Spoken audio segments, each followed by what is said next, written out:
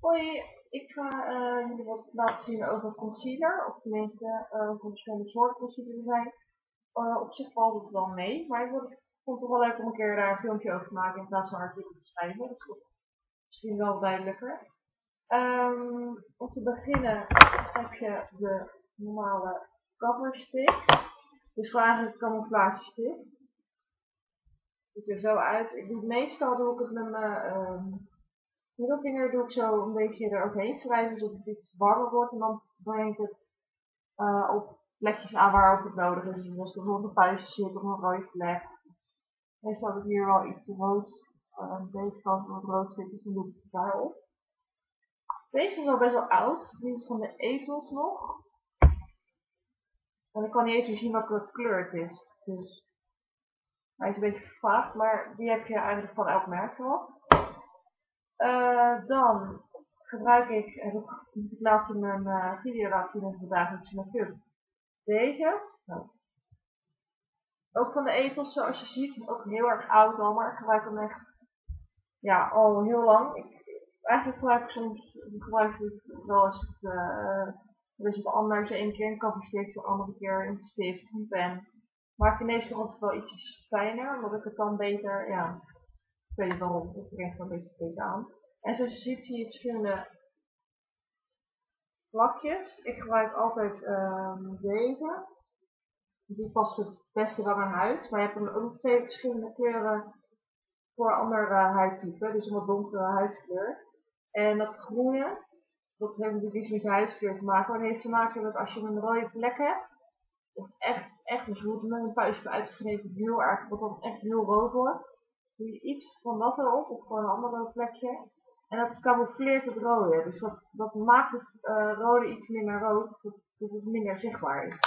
En eigenlijk zit bij alle concealer uh, Ik heb hier nog eentje van Catrice. Allround. En daar zit het ook in, zoals je kan zien. Even openmaken. Er zit hier ook het groene. En deze is ook voor je uh, kringen.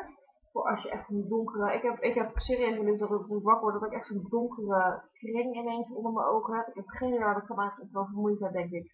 Doe ik iets van het roze doe erop en eigenlijk verfijnt het dan meteen. Het staat er ook achterop trouwens, um, waar het goed voor is. Uh, het staat er ook bij, Pink Conceals Dark Circles. Hier op de achterkant kun je dus zien welke kleur voor wat is. Dus dat is wel heel handig omdat je gewoon wel weet wat je moet gebruiken. Uh, en dan heb ik er nog één. Deze moet ik nog openmaken, zie ja. Dit is een stift. Een concealer pen. Dat ziet er zo uit. Zoals je ziet zit hier nog helemaal niks op. Je zou denken waarom, ik kan hier niks mee, want er zit niks op. Dat klopt, dan zit aan de achterkant zo'n drukkertje, zie je, waar je op moet drukken. Een soort, pen, inderdaad. Als je daarop drukt, je dat.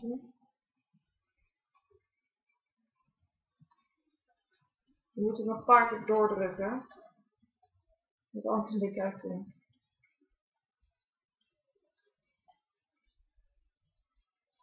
Ik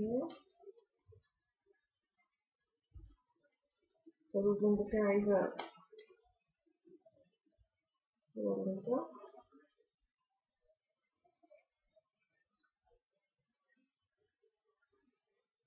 Ik haat stickertjes echt. Ik heb er hekel aan.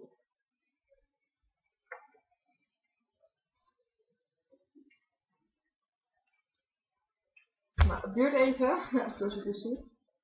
Maar uiteindelijk, hier, krijg je dus, komt er langzaam het concealer uit. En waarom het zo lang duurt, dit is een nieuwe pen, die heb ik pas gekocht. Dus dan duurt het gewoon even voordat het de spul eruit loopt. Dus heb je hier, je hebt hier ook verschillende kleuren in, je moet je wel even opletten wat er bij jouw huid past. Maar dit kun je dus gewoon op je gezicht aanbrengen. En je kunt het gelijk zo doen. Gelijk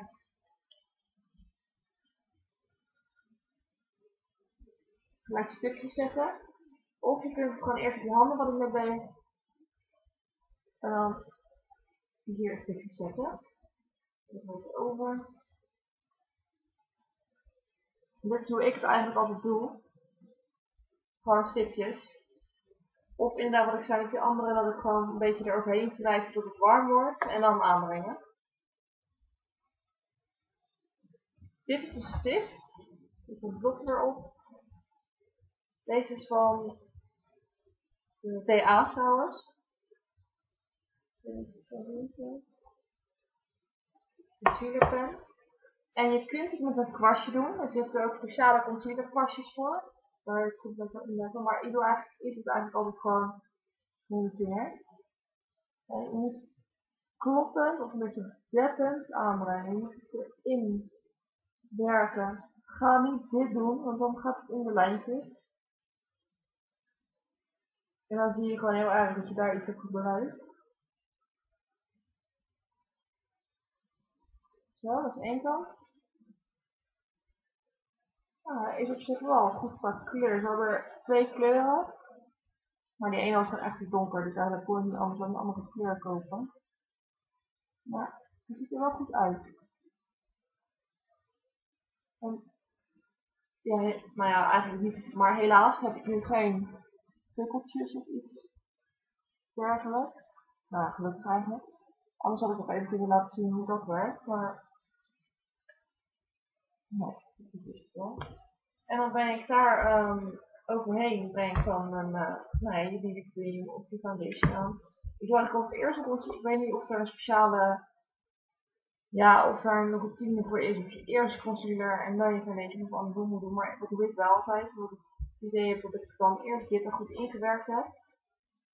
En dan mijn foundation overheen dat ik gewoon nog extra dek. Anders ja, heb ik het idee dat ik toch mijn kleur de kleurverschil krijgt of zo. Dus dan hoef deze gewoon daar omheen aanbrengen. Uh, dus dat was het eigenlijk. Een heel kort filmpje, ik weet niet of jullie er iets aan hebben gehad, ik hoop het. Dus het ging gewoon, eigenlijk wilde ik jullie laten zien hoeveel verschillende foundations of um, concealers je hebt. Best wel wat. Eigenlijk, um, ja, is, is bij elk merk heb je, heb dit soort dingen wel. Tenminste, vaak heb je pennen of uh, je hebt echt die, echt stiften. Dat zijn geen, dit is een pennetje. Je hebt ook van, van die stiften met een wat dikker uiteinde, zeg maar. Uh, die heb je van uh, Max Factor, volgens mij, en Rimmel en dat soort dingen. Dus, maar voor zo'n coverstift, als je dat makkelijk vindt, deze, die heb je echt dit bijna wel bij elk merk. En ik kan je de uh, Catrice Concealer Kit aanraden. Deze, die is echt wel heel fijn. Ook omdat er heel handig op de achterkant wordt aangegeven waar je wat voor moet gebruiken.